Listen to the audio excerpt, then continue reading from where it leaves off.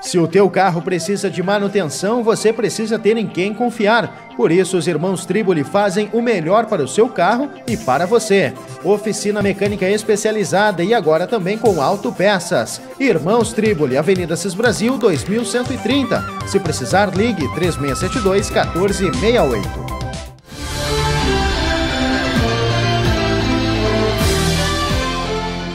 Confira agora as principais notícias do Brasil e do mundo na Lagoa TV. O incêndio atingiu nove casas no início da noite desta quinta-feira, 10 de agosto, na Ilha do Pavão, em Porto Alegre. De acordo com a Brigada Militar, o fogo começou por volta das sete e meia da noite e ao menos duas pessoas foram socorridas pelo Serviço de Atendimento Móvel de Urgência. Bombeiros de Eldorado do Sul e de Guaíba foram chamados para auxiliar a equipe da capital no atendimento. Veja mais em zhclickrbs.com.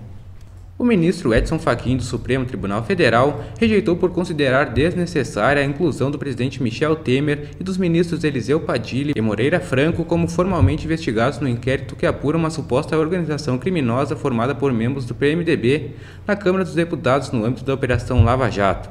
O pedido foi feito pelo Procurador-Geral da República, Rodrigo Janot. A notícia completa você confere em veja.com. Manifestantes protestaram na manhã desta sexta-feira contra as mudanças na gratuidade na segunda passagem no ônibus de Porto Alegre. Um grupo formado em sua maioria por estudantes da Universidade Federal do Rio Grande do Sul bloqueou o trânsito na rua Sarmento Leite, no centro da capital, e colocou fogo em objetos na pista. Conforme a empresa pública de transporte e circulação IPTC, cerca de 20 pessoas participaram do protesto. Veja mais em correiodopovo.com. Essas e outras notícias você confere no nosso site www.lagoatv.com.